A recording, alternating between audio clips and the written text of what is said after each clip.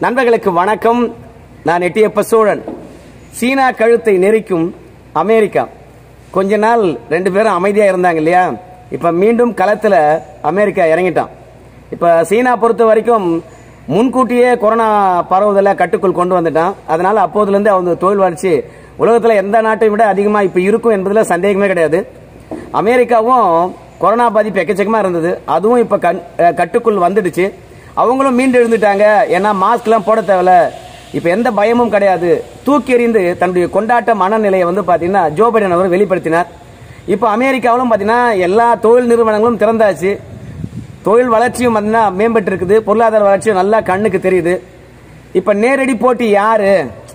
சீனா தான் அப்போ அவனுக்கு ஏதாவது சூன்யம் வைத்தாதான் நமக்கு எதிராக எந்த ஒரு காய் நகத்திலும் சீனாக்காரன் செய்ய மாட்டான் அப்படின்றதுக்காக தான் மீண்டும் இந்த கொரோனா உருவாக்கும் என்ற ஒரு விஷயத்தை அமெரிக்கா கையில் எடுத்திருக்குது. ஆனால் அதில் உண்மை இருப்பதாக ஆய்வாளர்கள் சொல்றாங்க. வெறுமனே ஜீரோ பர்சன்டேஜ் தான் உண்மை என்றால் அது வெறுமனே அரசியல் பழிவாங்குகின்ற நிகழ்வு தான் இது சர்வதேச அரசியல் விளையாட்டு அப்படின்னு நம்ம சொல்லி கடந்துட்டு போகலாம் ஆனால் அதில் உண்மை இருக்குது.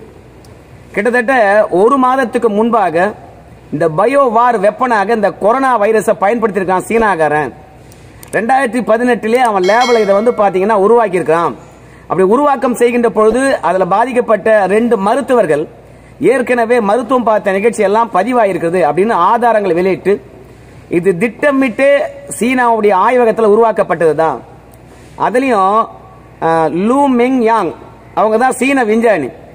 அந்த அம்மா ரெண்டாயிரத்தி பதினைஞ்சிலிருந்தே பயோ வார் பற்றியும் கொரோனா வைரஸை எப்படி பயோ வாராக பயன்படுத்தலாம் உருவாக்கலாம் என்று மருத்துவ மாணவர்களுக்கு பாடமாகவே வச்சிருந்தது சீனா.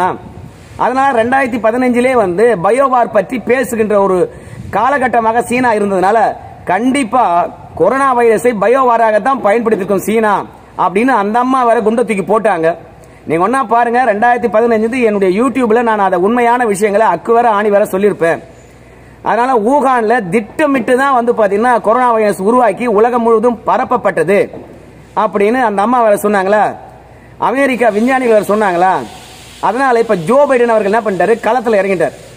எங்களுடைய புலனாய்வு குழுவானது ஒத்த கருத்துடைய நாடுகளுடைய புலனாய்வு அமைப்புடன் சேர்ந்து உண்மையான கொரோனா வைரஸினுடைய தொடக்கம் எங்க? இது உண்மையாகவே உருவாக்கப்பட்டதா? மக்களை கொன்று குவிக்கப்பட்ட வந்த அரக்கனுடைய தொடக்கம் எது? நாங்கள் முழுமையாக ஆய்வு செய்ய போகிறோம் அதில் ஒரு பங்களிப்பாக சீனாவுக்கும் வருவாங்க. அதனால சீன அரசாங்கம் பார்த்தீங்கன்னா முழுமையான ஒத்துழைப்பு நல்கணும். அப்படி முழுமையாக ஒத்துழைப்பு நல்கினீங்கன்னா உலக மக்களுக்கு எங்களுடைய உளவு அமைப்பு மூலமாக உண்மை உலகுக்கு வரும். தயவு செய்து ஒத்துழைக்கணும் அப்படின்னு சீனா கிட்ட வந்து அமெரிக்காக்காரன் அதாவது ஜோ பைடன் அவர்கள் வெளியிட்டார் ஒரு அறிக்கை நேற்று வெளியிட்டார்.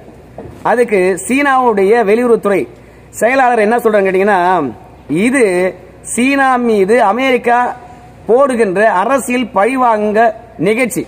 மற்றபடி இதில் துளி கூட உண்மையே கிடையாது. ரெண்டாயிரத்தி இருபத்தி ஒன்னுடைய தொடக்கத்திலேயே வேர்ல்டு ஹெல்த் ஆர்கனைசேஷன் வந்து எங்கெல்லாம் வந்து நாங்கள் சோதனை செய்ய போகிறோம் அப்படின்னு சொன்னாங்களோ அங்கெல்லாம் ஆய்வு நடத்திங்கப்பா அப்படின்னு நாங்கள் எல்லா இடத்தையும் திறந்து விட்டோம். மார்க்கெட் பார்க்க போகிறோன்னு சொன்னாங்க. ஊகானுடைய அந்த லேபை பார்க்க போகிறோன்னு சொன்னாங்க. ஊகான் மாநிலம் முழுவதும் பயணப்பட போகிறோன்னு சொன்னாங்க. எல்லா இடத்துலையும் நாங்கள் வந்து பார்த்தீங்கன்னா திறந்து தான் விட்டோம். அப்படி இருக்கும் பொழுது மீண்டும் சீனா மீது அமெரிக்கா குற்றச்சாட்டு வைப்பது இது தேவையற்ற சர்வதேச அரசியல் அன்று. மற்றபடி உண்மையெல்லாம் கிடையவே கிடையாது. இதுக்கு சீனா வலிமையான கண்டனத்தை தெரிவிக்குது. நாங்க இதை சீனாக்குள்ள அனுமதிக்கவே மாட்டோம் அப்படின்னு சொல்றாங்க. ஜோ பைடன் அவர்கள் வந்து பாத்தீங்கன்னா அவங்களுடைய உளவு அமைப்புக்கு ஒரு கட்டளை இடுறார் இந்த ஆர்ஜின் எங்க இருக்குது கொரோனா வைரஸ் வந்து பரவுனதுக்கான ஆர்ஜின் எங்க இருக்குது என்று நாம கண்டுபிடிச்சிடலாம். ஆனா நம்ம உளவு அமைப்பானது நம்முடைய வேலையுடைய திறனை இரட்டிப்பாக்குங்க. ஓய்வின்றி உழையுங்க. ஆதாரம் எங்க இருக்குதோ அந்த எல்லா இடத்துலையும் போய் தேடுங்க. அப்படி தேடினீங்கன்னா தொண்ணூறு நாட்களுக்குள்ளாக கொரோனா வைரஸுடைய மூலத்தை நம்ம கண்டுபிடித்து நம்ம மக்களுக்கு தெரிவிக்கலாம் அப்படின்னு நேற்று ஒரு அறிக்கை வெளியிட்டார். ஏன் இந்த மாதிரி அறிக்கை வெளியிடணும்? குறிப்பாக சொல்ல போனால் அமெரிக்கா இதனால் பெரும் பாதிப்பு அடைந்தது இந்தியாவை விட அமெரிக்கா ரொம்ப பாதிப்பு. அமெரிக்கா விட பிரேசில் பாதிப்பு. ஐரோப்பிய ஒன்றியம் முழுவதும் பிரிட்டன் முழுவதும் சேம பாதிப்பு. ஆஸ்திரேலியா முழுவதும் சேமா பாதிப்பு இதனால். இதுல கொரோனா எங்க உருவாச்சோ அந்த இடத்துல மீண்டும் மீண்டும் அலைகள் வரல. ஆனா மற்ற நாட்டுகள்லாம் பாத்தீங்கன்னா மீண்டும் மீண்டும் அலைகள் வந்து கொண்டே இருக்குது கடல் அலை போல. அப்போ இது திட்டமிட்டு பரப்பி இருந்தால்தான் அவங்க மட்டும் பார்த்தீங்கன்னா ரகசியமா ஒரு தடுப்பு நடக்க வச்சுக்கிட்டு மற்ற நாடுகள் பரவுவதற்கு துணையா இருந்திருக்காங்க அப்படின்னு அமெரிக்காக்காரன் வந்து சந்தேகிக்கின்றான் அதுவும் இல்லாம இந்த வேர்ல்டு ஹெல்த் ஆர்கனைசேஷனுடைய கணக்குப்படி பதினாறு கோடியே எண்பது லட்சம் பேர் இன்றைக்கு வரைக்கும் கொரோனா நோயால் பாதிக்கப்பட்டிருக்காங்க. கொஞ்சம் திங்க் பண்ணி பாருங்க. அதோட கிட்டத்தட்ட முப்பத்தி ஐந்து லட்சம் பேர் உயிரிழந்திருக்காங்க. இது முதல் உலகப் போர் இரண்டாம் உலகப் போர் எல்லாவற்றையும் சேர்த்து உயிரிழந்ததை விட ரொம்ப அதிகம். அப்படின்னா இந்த கொரோனா வைரஸின் மூலத்தை கண்டிப்பாக தெரிஞ்சுக்கணும். அப்படி தெரிஞ்சு கொள்ளவில்லை என்றால் இந்த அலை தொடர்ச்சியாக பரவுகின்ற பொழுது நம்மளால் அந்த கொரோனாவை எதிர்கொள்வதற்கான வழிமுறை தெரியாமல் போயிடும். அதற்காக நாங்கள் எங்கள் உளவு அமைப்பை முடுக்கி விட்டிருக்கோம். சீனா ஒத்துழைப்பு நல்கணும் அப்படின்னு திடீர்னு அமெரிக்கா இந்த விடயத்தை கையில் எடுத்திருக்கு. இதில் முக்கியமான விஷயம் என்ன சொல்கிறாங்க அமெரிக்க ஆய்வில் அறிஞர்கள் என்ன சொல்கிறாங்க கேட்டிங்கன்னா இந்த கொரோனா வைரஸ் என்பது பாத்தீங்கன்னா சீனாவில் தான் உருவாச்சு அப்படின்னு நாங்களாம் சொல்லவே இல்லை.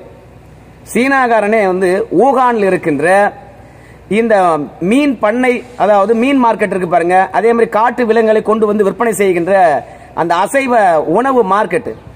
அந்த இடத்துல தான் நாங்கள் முதல் முதலாக கொரோனா வைரஸை கண்டுபிடிச்சோம். அங்கிருந்து தான் வந்து பாத்தீங்கன்னா கொரோனா வைரஸ் ஆனது ஊகான் முழுவதும் பரவிச்சு. அப்படின்னு முதல் முதல் பாத்தீங்கன்னா கிட்டத்தட்ட வந்து ரெண்டாயிரத்தி பத்தொன்பது அக்டோபர்லயே சொன்னான். ஸோ கொஞ்சம் திங்க் பண்ணி பாருங்க. அவன் நாட்டில் கொரோனா வைரஸ் இருந்தது என்று அவன் தான் முதல் முதலாக உலகுக்கு சொல்றான். அப்படின்னா அவன் நாட்டில் போய் நாங்கள் சோதனை பண்ணாம வேற எங்க சோதனை பண்ண முடியும்? அதுவும் இல்லாம இந்த மார்க்கெட்ல தான் கொரோனா பரவிச்சு அங்கே தான் உருவாச்சு அப்படின்னு சொல்லுகின்ற பொழுது அங்கிருந்து சாம்பிள் எடுத்து டெஸ்ட் பண்ணும்போது கொரோனா வியாதி அங்கே உருவாச்சு அந்த ஆதாரம் இருக்குதா?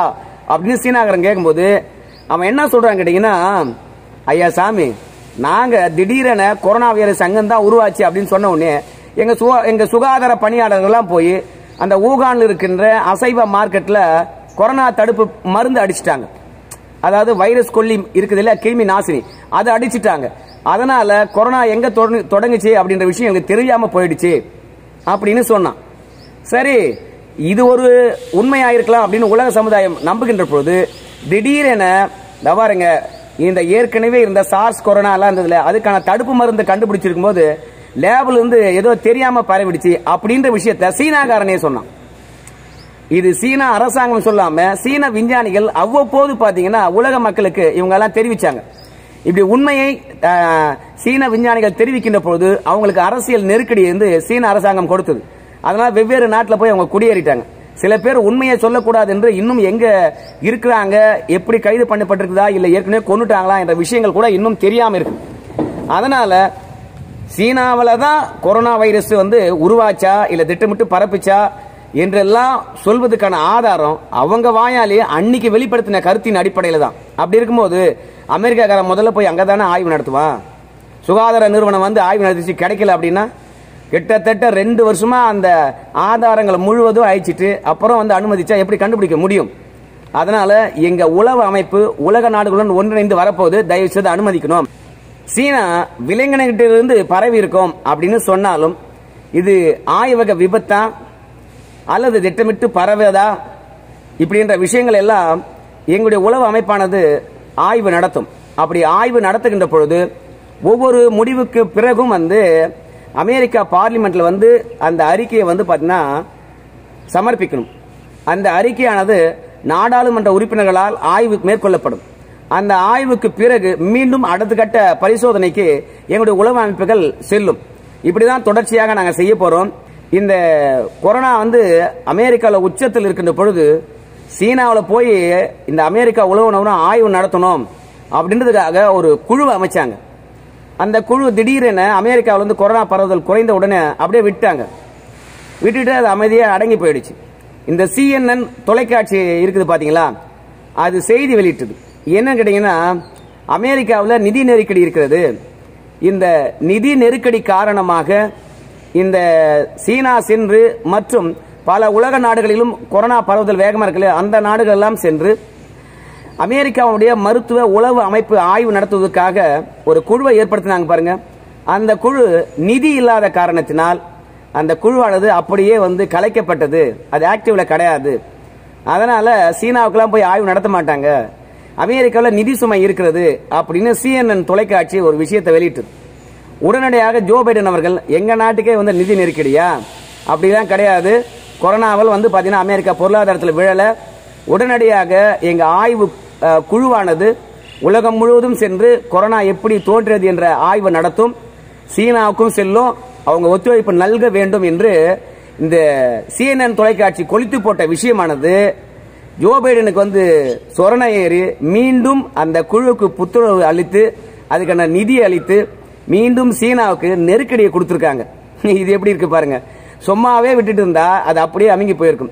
சில பேர் இந்த மாதிரி தவறான விடயங்கள் உண்மைக்கு புறம்பான விஷயங்களை கொளுத்தி போடுகின்ற பொழுது அது பூதாகரமாக வெடித்து யாருக்கும் எதிராக போகிறது. அப்படித்தான் இன்றைக்கு சீனா கழுத்தை அமெரிக்கா நெருக்குகின்றான். உலகத்துக்கு உண்மை வந்தா போதும். யார் அடிச்சுக்கிட்டாலும். சரி நண்பர்களே இன்னொரு நல்ல வீடியோவில் சந்திக்கலாம்.